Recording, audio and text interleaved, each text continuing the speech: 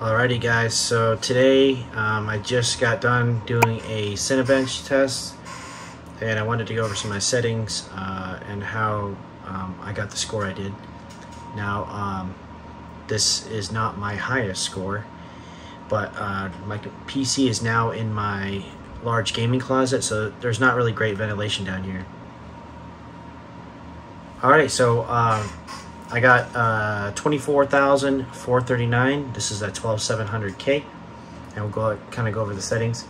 Uh, so uh, CPU core voltage is set to 1.360 volts. There's no core offset.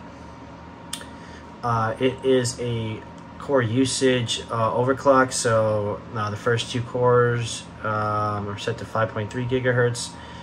Uh, the, the, next two cores are set to 5.2 gigahertz, and if you if the CPU is utilizing all eight cores, it's at 5.1 gigahertz. Um, at the bottom there, you can see all that core usage. Uh, the CPU is not under load, so that's why it it's reading 5100, 5200.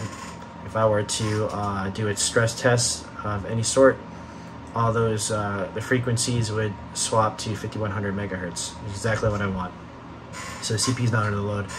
Uh, obviously, you can see by the package temperature is only 30 degrees Celsius. Um, so we're sitting idle right now. Um, I'm in my gaming closet, like I said. So uh, pretty warm in here. Uh, not too much ventilation. I have some fans that I have to run to get some airflow in here. Uh, but we are uh, got our baseline and we are going to uh, push this thing. I still have a lot more room on my RAM. I'm only at 4800 uh, megahertz on the RAM. Um, it's good for 5600. The motherboard can uh, is capable of handling up to 6200. Um, so hopefully there's not diminishing returns as I go um, above 4800. We'll see. Um, but I can't just enable XMP uh, and have it bring it to 5600 because that's just a, it's a um, a cost on performance. It actually uh, slows the computer down by doing that. So, uh, you know, back with DDR4, you could just hit Intel, uh, or sorry, Extreme Memory Profile, and uh, be good to go. But not not on DDR5. It doesn't work like that. Um, so, they still got. We're still in the beginning phases of DDR5, so we have a lot more work to do, and uh, definitely a lot more software and hardware uh, updates to go before we're kind of where DDR4 um, is. So we'll see how that goes. Um, yeah, our max temperature on this test was 91 degrees Celsius. I mean, for the location where my PC is, that's pretty good. Um, I can't complain there.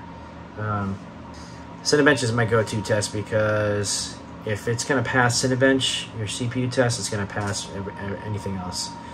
It's like you know, good rule of thumb. Um, that's why I do this test for customers because then I know that CPU it has a, a good chance to pass everything else.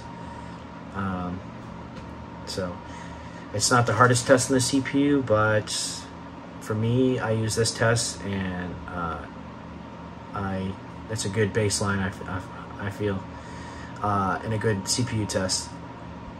Um, yeah, that's about it. I'm probably bored at looking at my screen now, so I'm going to end this video now. Uh, if you have any questions on the settings uh, or anything like that, let me know. Um, I, oh, one more thing. I did have to add a AVX instruction offset of 8 in the BIOS. Um, so I'm gonna mess. I gotta mess with that too to see if I can uh, lower that down and still uh, pass the test because I was failing uh, with no AVX offset, but I was at a lower core voltage at like 3.1.32 volts.